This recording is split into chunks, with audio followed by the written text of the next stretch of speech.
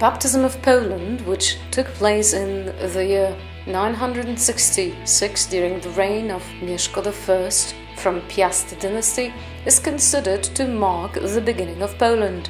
The baptism of Poland resulted in Poland joining the group of Europe's Christian countries, and therefore Poland ceased to be the target of crusades against paganism.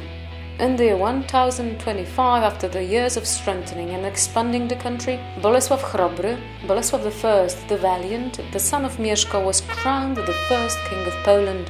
Since the 12th until the beginning of the 14th century, Poland was under fragmentation. Its separate provinces have been governed as independent countries. The country was successfully reunited by the King Władysław, Władysław I the Elbow High, who was particularly stubborn and very short. This is why people called him Elbow High. In the 14th century, when Władysław Jagiełło was crowned the King of Poland, the power in Poland was taken over by the dynasty of Jagiellons. They originated from the line of the Grand Dukes of Lithuania. This is how Poland and Lithuania concluded a strategic alliance against the Teutonic Order, their biggest enemy. The Battle of Grunwald took place in the year 1410. In this battle, joint Polish and Lithuanian army conquered the Knights of the Teutonic Order. This was one of the biggest battles of medieval Europe and a great victory of Polish and Lithuanian knights. The Golden Age, this is how the 16th century is called in the history of Poland. At that time, Poland was rich and strong. The scientific and cultural life was thriving, and religious tolerance was commonly respected value. Poland and Lithuania concluded a union and practically became one country, which was called Rzeczpospolita Obojga Narodów, the Polish-Lithuanian Commonwealth. At the end of the 16th century, King Zygmunt III Vasa, Sigismund III Vasa, moved the capital of Poland from Krakow to Warsaw. In the 17th century, Poland was tormented by unceasingly increasing social disruptions. Cossacks' rebellions in Ukraine and wars against Sweden, Russia, Crimea Khanate, and the Ottoman Empire. In the year 1683, King Jan III Sobieski, John III Sobieski, came to rescue Vienna besieged by Turks. During the Battle of Vienna, the charge of the Polish armed cavalry, hussars, broke the line of Turkish army and sealed the victory. In the 18th century, Poland, weakened by wars, was no longer able to face neighbors' growing force Austria, Prussia, and Russia. In the second half of the 18th century, three partitions of Poland were conducted by those countries. The last partition took place in the year 1795. Poland was removed from the map of Europe.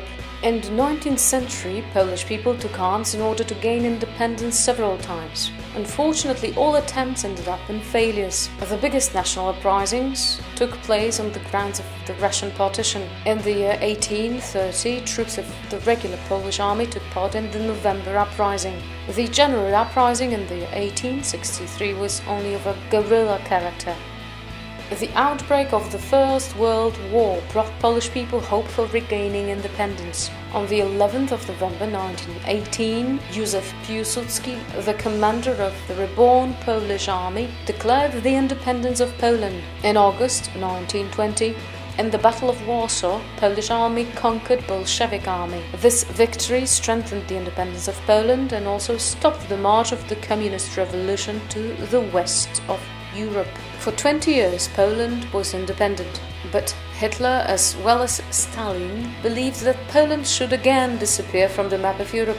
A secret pact, Ribbentrop-Molotov, sealed the country's fate. On the 1st of September 1939, Hitler's Germany attacked Poland. On the 17th of September, the Red Army entered from the east. Poland sung in the darkness of bloody occupation. Yet Polish people continued the fight, underground in the country and armed on all fronts of the Second World War. In the year 1944, Warsaw Uprising broke out in the occupied capital city. It turned out to have tragic outcome. Over 200,000 inhabitants of Warsaw were killed and the city was completely destroyed. After 1945, Poland was reborn, however smaller, moved in terms of territory and dependent on the Soviet Union. The period of the communist rule began in 1978. The Polish Cardinal Karol Wojtyła was elected Pope and took the name John Paul II. In 1980, Solidarność, a democratic opposition movement, was created. All that led to the Polish Round Table Talks in 1989. They ended up in a political transformation. As a result of political, economic, and social reforms, only 10 years later, Poland became a member of NATO. In the year 2004, Poland was accepted to the European Union, where it currently plays an important role. In 2011, Poland took the lead of the Council of Europe. In 2012, together with Ukraine, Poland organized UEFA European Championships. On the 10th of April 2010, the biggest tragedy in the contemporary history of Poland took place the crash of a Polish governmental plane in Smolensk, in which the presidential couple died, as well as representatives of parliament, ministries, armed forces, clergy, social organizations, and many others.